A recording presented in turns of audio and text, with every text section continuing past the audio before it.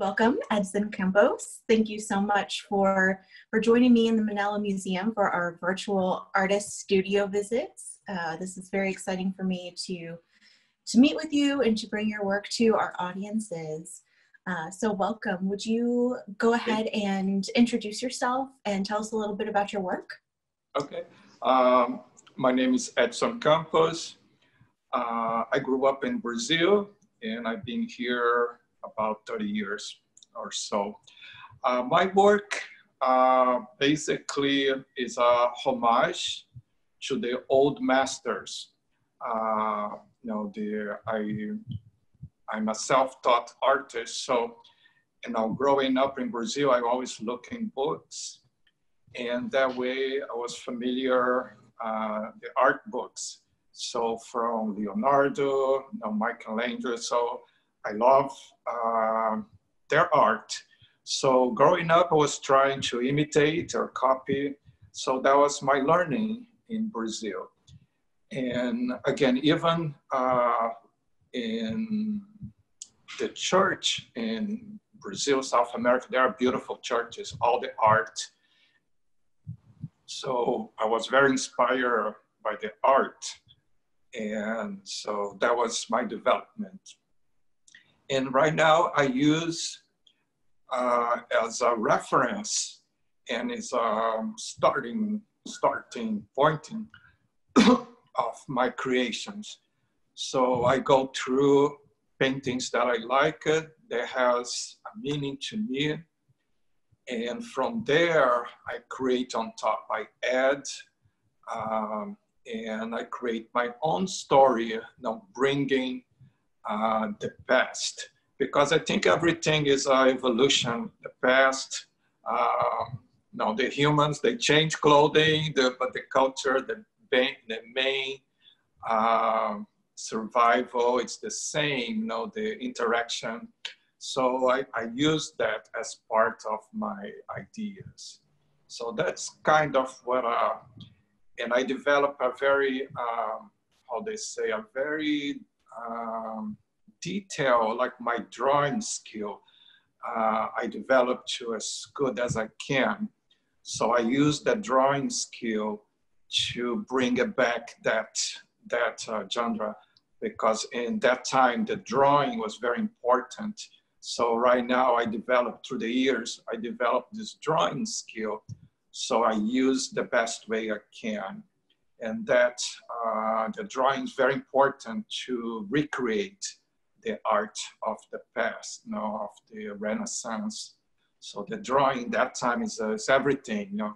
So I understand that and I use the best, the best way I can. And um, I think I'm better, I can draw better than paint, but uh, I do both. But the, for me, the drawing is extremely important. But that's overall. So, so you start your compositions with the drawings first and the ideas and the sketches, is that right? Definitely, yeah. Before I go, I, I draw, I sketch everything like the old masters. I, I do sketches. I go through a lot of sketches in my work until I found a solution. Uh, I work a little bit on the computer also, but I draw first. The first um, uh, feeling, the idea. I, I love paper, I love you know, pencil. I go to the there and I sketch. And after I say, okay, uh, let me use, uh, refine that. So I go to the computer and I bring it there. But the drawing, yes, uh, the first, the first rendering is in drawings. Yeah. Wonderful. And as you're creating these these really unique narratives, you're you're combining what you know from art history, what you've seen in those textbooks, um, what you've seen in the architecture around you, um, wow. as well as in the books. Um, how do you create your narratives and, and what do they mean for you? Okay. I, I love to travel. Uh, I, I understand that uh, it's very important for us to expand our views and I love Europe because it's the old world and the architecture, the Renaissance. So visiting places over there, I start creating, it's like a library of uh, imagery. And after I, I love to photograph and I love to photograph people. And uh, my, uh, my work, I, I work with the female, the feminine, and I try to create something interesting with that. And it's, I, I have this concept of beauty so goes all together with the architecture uh, and yes, the feminine figure, but something very graceful. So I'm always looking for grace, you know. So even the buildings, you know, because it has buildings that are very massive. Uh, I'm always looking for something beautiful, something that has a harmony and a good feeling.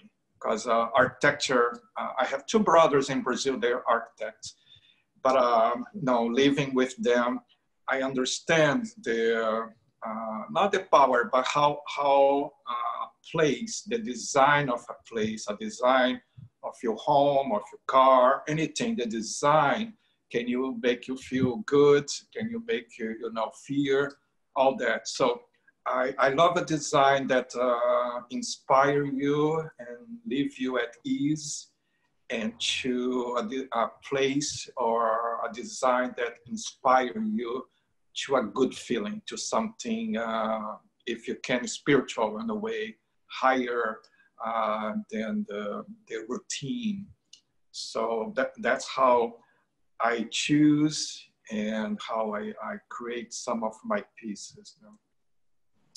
So you're looking for narratives bringing kind of the mundane, the worldly into another otherworldly and mm-hmm. um, historic even. Mm-hmm. Is that right? Yeah, yeah. Just uh, it's almost like my my work is designed to give a moment that you just oh that's that's interesting. You know, even if for a few seconds, if my work can do that, but uh, it's almost to getting you to recognize something not to get away to forget you know, uh, the moment, but to that moment to be a higher so you can understand a little more of the world or you can uh, appreciate a little more of the world. So that, that's how I try, you know. And, but uh, it, it's just to make you aware of things around you a little more. Because sometimes you go uh, you can pass a beautiful building, you know, if you're busy or if you have problems, you don't even notice. You can go by Notre Dame if you have a problem, something happened to you, you don't see the beauty, the, the history, how much effort was, you know, put it together. So I try to bring that, and if for a moment in time you can enjoy that and You froze. Great. Okay. Okay. so we were talking about your art, the narratives that you're creating, the space that you're trying or that, that you're making for someone to to see the world in a new way and to see yeah. different things. Um, something else that I, I also like about your work too is is how you play with the ideas between beginning and ends, um, okay. the start and finish in your pieces. Would you talk about that? Okay, yes. Um, I, I finished a piece in the beginning of the year and I, I call Fall of a Dream. And the idea uh, is it's an ending of a moment and the beginning of a new moment because everything you know, you know comes to an end and next, you know. So the painting, it is one that you see with the blue uh, you know, subject on the bottom. The idea is a beautiful ending because uh, people say, oh, ending, it's sad, you know. But uh, not necessarily. You know, when something ends, it's not sad, it's not happy, it ends. It can be either way, but it's gonna go to a next next level. So uh, this painting, the, the whole concept, it's about that, you know. And for me, it's a beautiful ending. You know, it's even sometimes, you know, it can be a, person, uh, you know, end of their life can be beautiful, not necessarily. It's sad sometimes where you, you miss, but it's something beautiful. You see how much the person accomplished. So, but it's gonna end and something's gonna start, you know. So I, I like that team and I've been, I have at least two pieces that is in that same uh, idea, the concept of ending and the beginning of something, you know, because that's how everything in a life goes. You know, it's a continuous uh, movement. Yes. Very much cyclical. Yes. yes. Thank you. Yes. Yeah. So that's a, uh, one idea, and, and that piece alone, I uh, it's interesting. The uh, that is still the French Salon in, in France, uh, the old French Salon. You the artists fought not to be part. So I participate on, on that.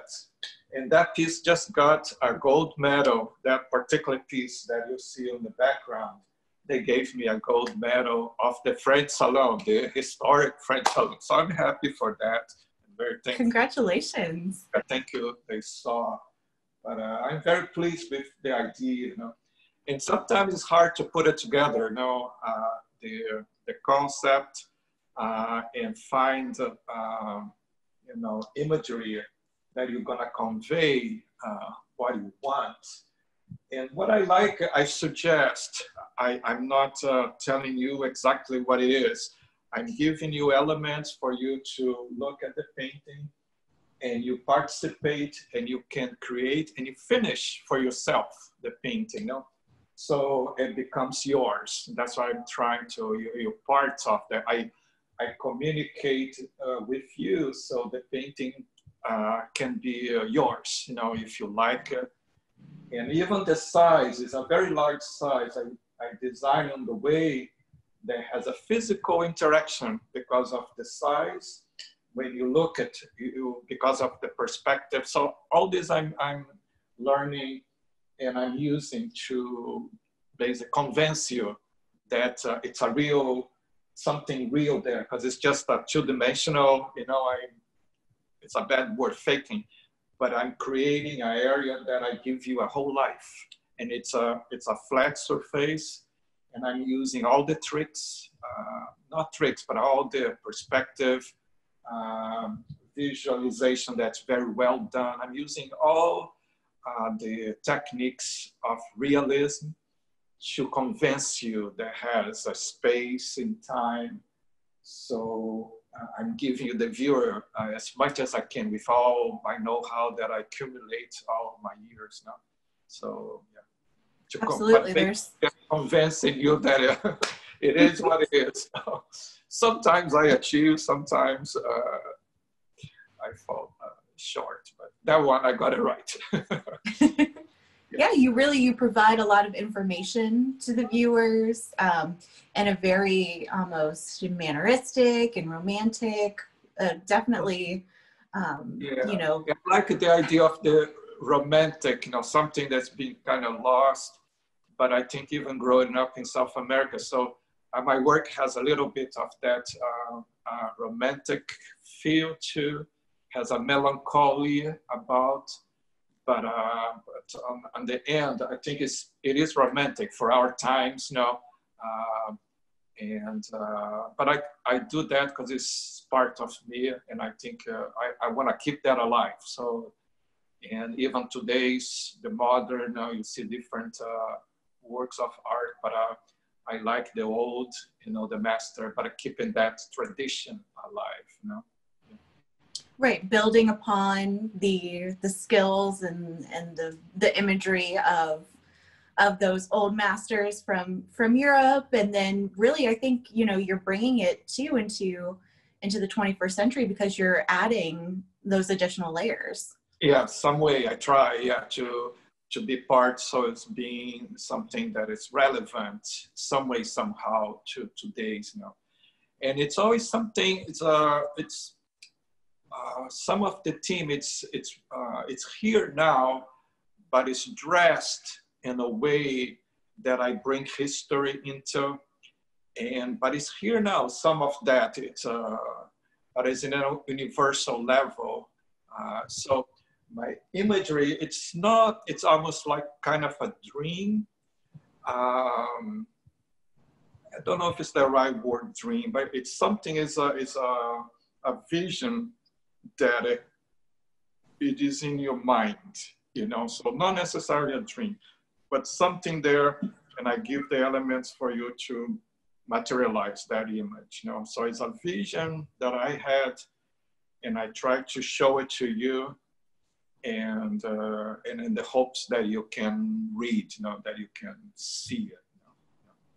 That's very interesting. The vision that the the audience can take with them. Yeah, because everybody has their own experience. I have mine, so the same happening out there through your experience is different than mine. Uh, we are all human, so it's similar in a way, but depending of your background, you know, uh, whatever happened to you is going to be really different. So I'm trying to be careful. I really think all how uh, I can control a little bit where you're going to go, you know, but I cannot control it all, all, all the way. But I can control a little bit. I can guide you a little bit, you know. That's how I can do, you know, just enough. So I don't have uh, wrong readings, you know. But uh, so does the church play a really big role in the the topics that you're looking yeah, at? Yeah, uh, sometimes my work they are kind of icons, but uh, it did play uh, very strong because uh, growing up in Brazil, uh, the, you know, the Catholic Church, I have little prayer saints, you little uh, things that I carry, you know, a poem, and they always have paintings from Raphael, you know, to Madonna, Leonard so I always saw that.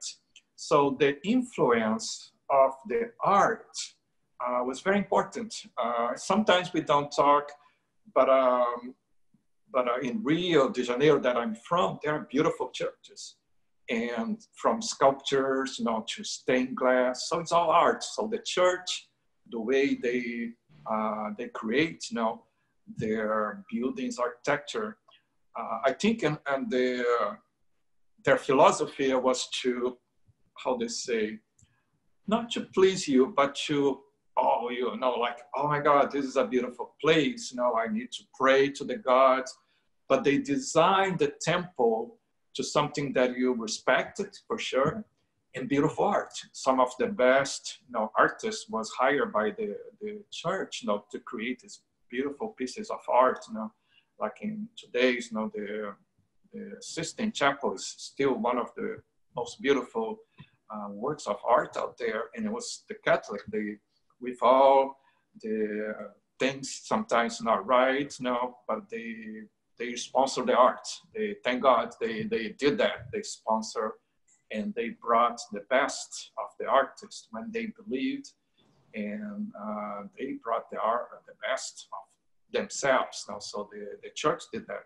So I think they inspire me, and I think they inspire a lot of people uh, down there in that way. But for me personally, I just love to. I went to the mass and I look into the church. Now look at the beauty, the sculptures, the and the, you know the design uh, and the altar pieces with gold, and so it's like, wow, this is beautiful. So uh, what way to try to imitate that? You know?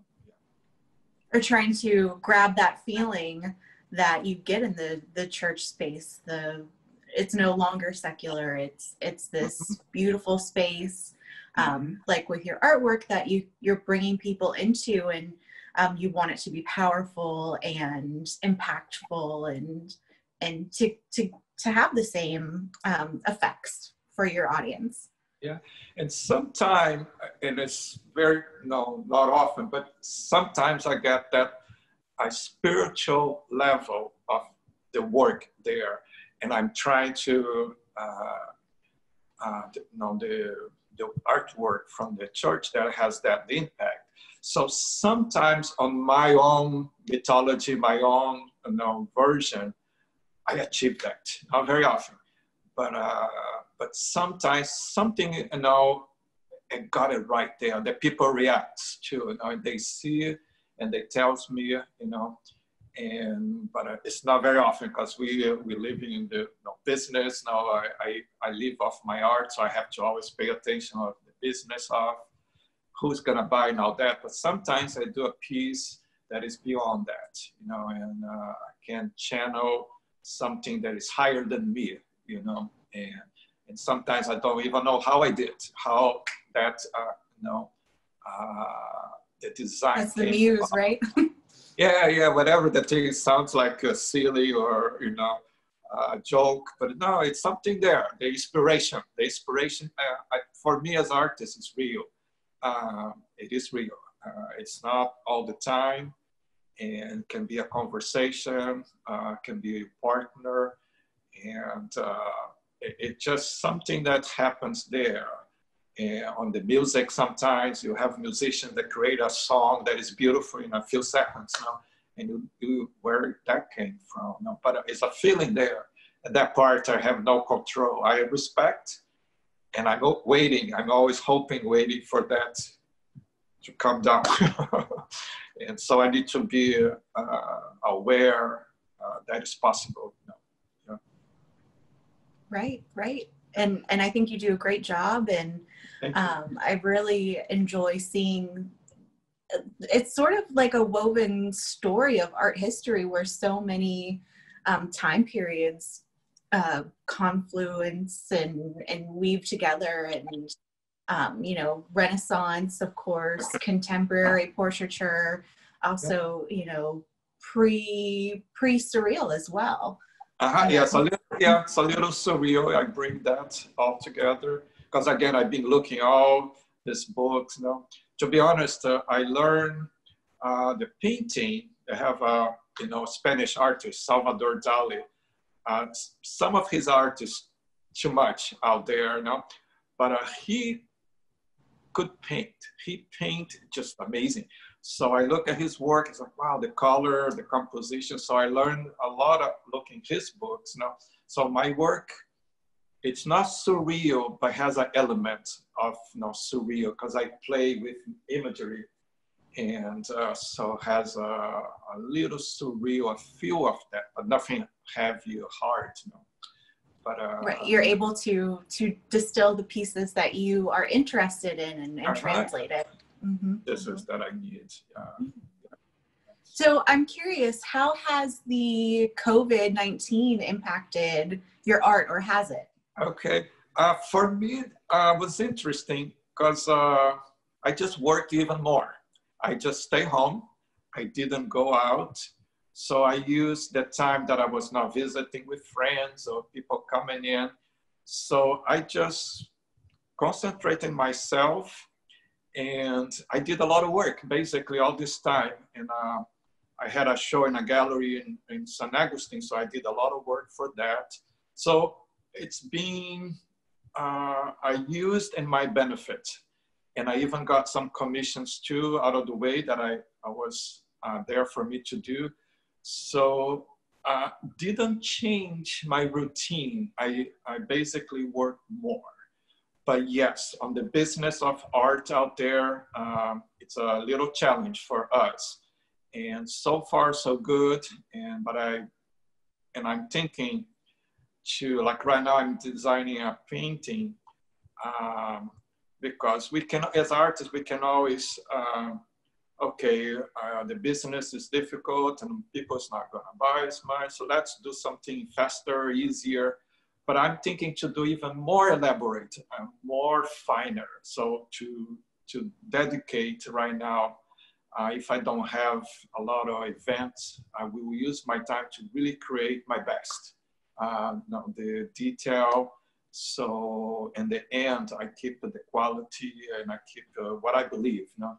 So I don't want to make uh, uh, uh, how you say more commercial just to go with the time. I hold. I hope I can hold to my ideals, but that's the situation. So I'm using the time uh, to to really paint, to dedicate even more to my art. And that's nice for artists now that uh, and uh, if I was a musician I'd be proud because I need you know the my the group you know to play. But um, being an artist I'm always you know alone my creativity. So it's working for me. It's not uh, causing too much uh, harm right now but of course, uh, I need to travel. Sometimes soon I need to see people because my inspiration comes from people, the interaction, the human interaction. So sometimes soon I need to get, I need to get, uh, you know, uh, off the house and, you know, yeah. But one good thing, you know, uh, uh, my wife is an artist too, so it's very nice. So we we feed. So there are two artists here, you know, so we we still inspire each other, you know. Uh, and uh, her name is Kathleen Broder, but uh, we we uh, keep ourselves uh, like sometimes funny. It's not a competition, but I do a piece, and she look, wow, that's nice. So she do something very nice, like, wow, this is very nice. So motivate. So we be uh, motivating ourselves on this in these times, you know. So able to keep each other at your best. Yes, I think we do. I think mm-hmm. we do. Well, that's wonderful. Is there anything you um, can share about the themes you're thinking about for the new piece? Uh, uh, I'm thinking uh, it is about, uh, I'm debating the title. So the title first became like Sweet Obsession. that was the first. But it's all the good things in art. And after I'm changing to passion because that's what it is. Now everything, you know, the passion for the art, architecture. So I'm creating this piece that has architecture, the art, and and I want to hit, uh, uh, bring something of this moment, you know, the uh, the pandemic, without being too obvious. So I'm trying to create something that when you look at, you're gonna remember the time but without being obvious. So that's what uh, I'm halfway design right now, but uh, but just give the idea of the moment without being obvious. You know, so that's what right. I'm trying. There again is a change. You know, it's a little bit like something is ending because I keep saying that the world that we knew is no longer here. So it's gonna be something else. Now that is over, you know, the but uh, everything is uh, changing. You know, the whole structure, the museums, the art galleries, how people see art. You know, like even the we're doing a video so people can participate. So everything is changing. Uh, so the word, and I, I cannot even think how it's gonna be. I hope it goes back, but it's already changing. It's already changed. So everything is, uh, is different but um, but yeah, I, I, I love what I do and uh, and uh, I keep the tradition of the well rendered work. Because again, my work is old, not old, but it's romantic. It's uh, something. Oh, we paused again. Hmm. There we go. All right. So, okay. Sorry about that. okay, that's right. But we got a lot of there. Yeah. Well, you were talking about the romanticism in your work, yeah, and it's, it's, yeah, mm-hmm. yeah. Uh, my work, uh, it's nothing new. It's something romantic, but I, I want to keep that. Uh, um, you know, that style alive. I think it's important. You know, even things are different. You know, it's a lot of more um, video and uh, the art is changing. This is so uh, old, you know, to paint on a canvas is something I still do, but it's like uh, the art is, you know, um, it's uh, evolving, you know, so the flat canvas is something so passe, you know, it's like, but I still love, I still see when you do something uh, with that you think, you know, put a lot of, you know, thinking it still have a point, you know, uh, it's still a message. Yeah. Wonderful. Well, thank you so much for your time and for showing us and inviting us into your studio. Well, thank you very much for, for the opportunity. And yeah, thank you very Absolutely. much. Absolutely. Thank you.